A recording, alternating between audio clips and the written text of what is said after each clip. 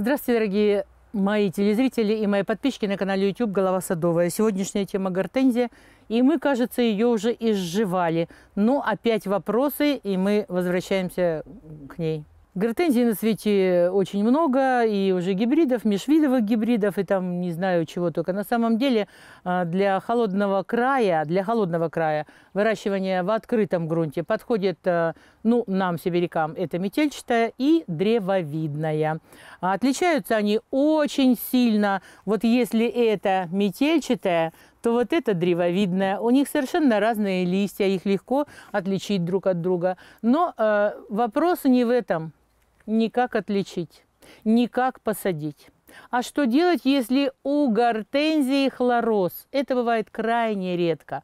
Это бывает только если почва щелочная или вы буханули туда золы. Может быть и звездки. Вот этого категорически делать нельзя. Хлороз сам по себе голодание не может наступить. Хлороз, он проявляется, а, это же недостаток а, азота.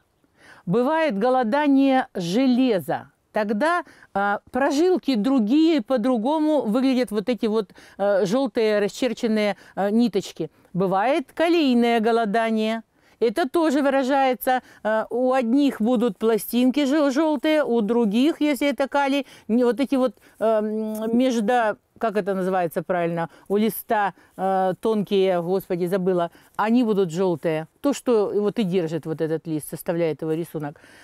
Вы должны понимать, значит, одна там бедная моя подписчица пишет, что ой, я там всем полила и хилатами железо, и там и так далее, и тому подобное. Ну, это же еще не значит, что вы сделали все, что нужно гортензии. Во-первых, если она высажена в почву, значит, вы должны понимать, что почва не подходит.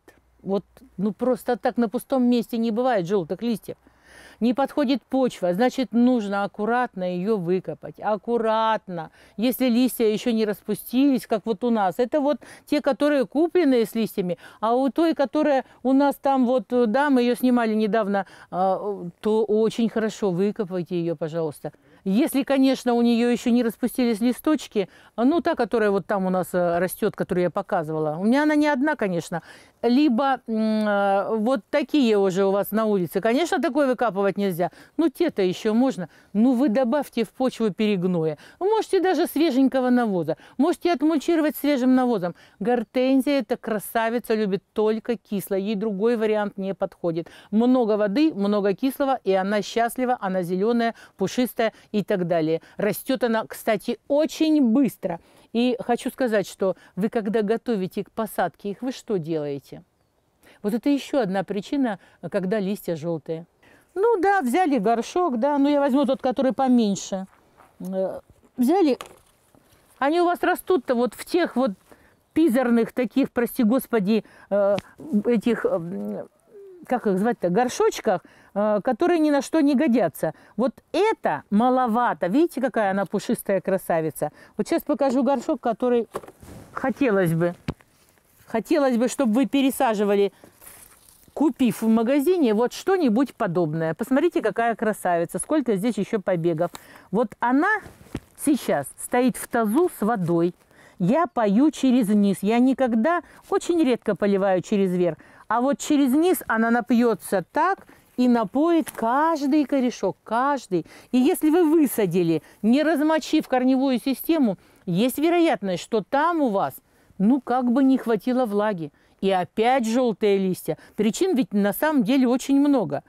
А вы как-то все, вот, вот все сделала, знаете что, не пишите мне такие слова. Когда мне пишут, что я только, даже не так, что я только не делала, ничего не помогает – это значит, что вы ничего не делали. И я не люблю, когда мне говорят неправду. Если человек что-то делал, значит, что-то и получилось. Давайте относиться к растениям как друг к другу. И тогда у вас будет все замечательно. Ну, вот на этом я про гортензии хочу и закончить. Помните, да? Навоз, перегной, кислая, много воды – это вот ее э, зона обитания, это ее родная, э, родное место. Другого она не потерпит. Всего доброго вам и до свидания.